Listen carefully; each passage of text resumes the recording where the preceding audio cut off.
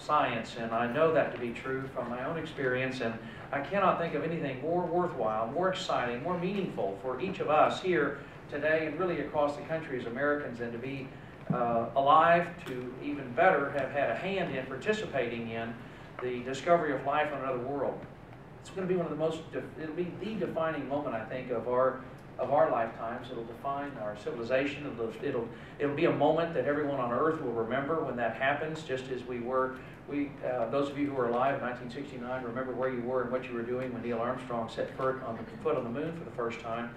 That moment when we realize we're no longer alone and that life actually exists in other worlds will be a transformational moment in the history of civilization on Earth and change our perspective as profoundly uh, towards the rest of the universe and the and our solar system, as did the arrival of these uh, Europeans, these strange people with, uh, with uh, sails that appeared on the horizon of the New World when uh, Columbus and the first explorers reached, uh, reached the Americas.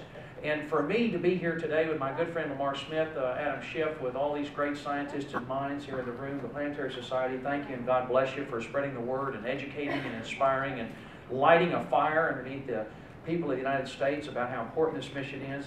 And the National Geographic, thank you, thank you, thank you for doing this incredible article that has done so much to uh, raise awareness uh, in, uh, in the eyes of the country. People see that on the cover of National Geographic and it means something then. That's actually been elevated to a, a level of awareness and, and, and, and plausibility that uh, we couldn't achieve otherwise. It's, um, to me, in my mind, really the most exciting thing I've ever worked on. I had the privilege of being a extraordinary privilege of representing the people of Texas and West Houston in this uh, greatest country, and uh, you know we all feel this way. Adam does it about California as well.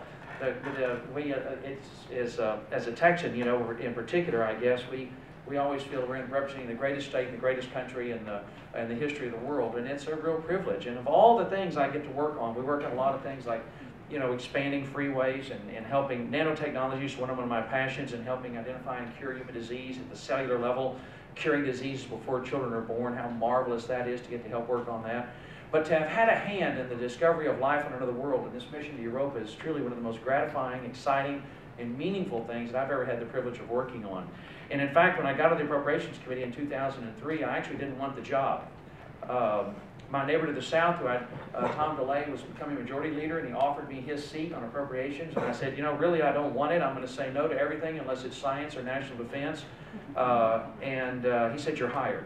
And it's, uh, it's been a great assignment because you realize the work that Lamar does in the Science Committee with the authorization bills that they put together, it's our job, Adam and I work arm in arm in this effort to keep the gas tank full, to make sure there's enough funding to fuel these extraordinary missions and that NASA has the freedom, the money, and the support that they need to do what they do best. And I know it's one of our dreams, Chairman Smith, uh, Adam and I, uh, Chairman Frank Wolf, is to give NASA the funding and the support they need and get the politics out of the way. Just give you the freedom that you need to do what you do best and bloom and blossom and thrive and go where, uh, seek out new life and new civilizations and go where no human has ever gone before.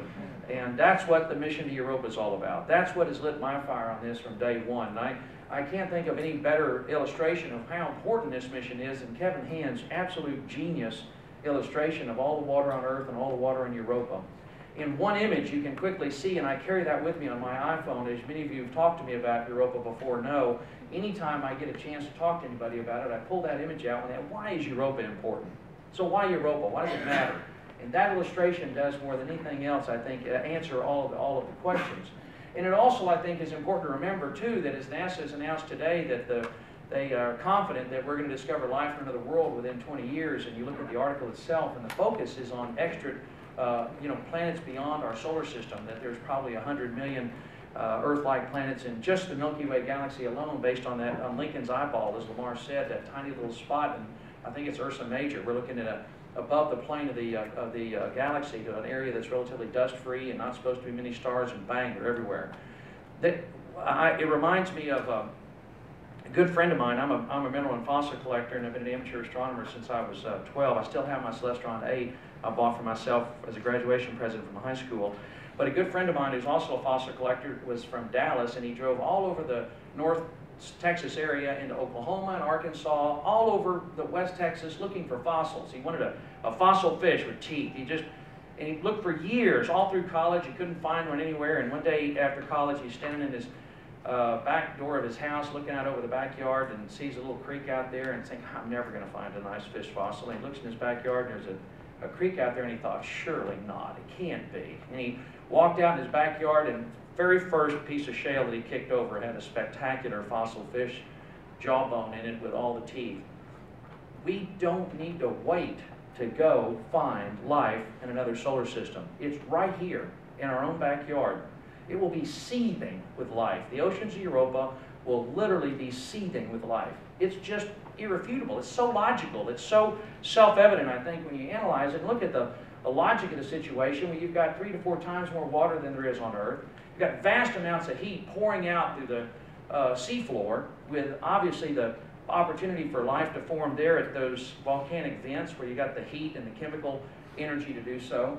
You also recognize, of course, when you read the articles about the tremendous radiation from Jupiter stripping away, this is also logical, stripping away the hydrogen on the uh, water molecules and leaving oxygen-enriched ice that will then plunge back into the ocean. And so that we got, you got, okay, you got a saltwater ocean, vast amounts of heat, the chemicals pouring in from Io and elsewhere that are turning the, obviously, the surface ice, that's where that orange is no doubt coming from. It's oxygen replenished for billions of years. It's also been protected from asteroid strikes. You know, the Earth has been repeatedly sterilized by massive asteroid strikes over the lifetime of the planet, and the oceans of Europa have been shielded from that. Anytime you get an asteroid impact on that, on that world, on that ocean uh, world, it's going to essentially shield life there from uh, being uh, sterilized or exterminated. So it's right here in our own backyard, just like my friend that found the fossil, foot, uh, fossil fish jawbone in his own backyard. We're not going to need to go far to find life, and it's just our, our responsibility. I know Lamar, Adam, and I uh, share the passion and the commitment to do whatever it takes to make sure that we find uh, we find the money, we do what it takes to work arm in arm to give these brilliant scientists in the room here who are making that dream come true to transform our civilization forever. And when we're old and gray and in a wheelchair and look back on this time, we'll remember that we were, we were here. We had some role, some part to play in uh, finding life on another world that forever changed uh, civilization as we know it and improved mankind for the better. What better legacy could we possibly leave for the future than that? Thank you very, very much.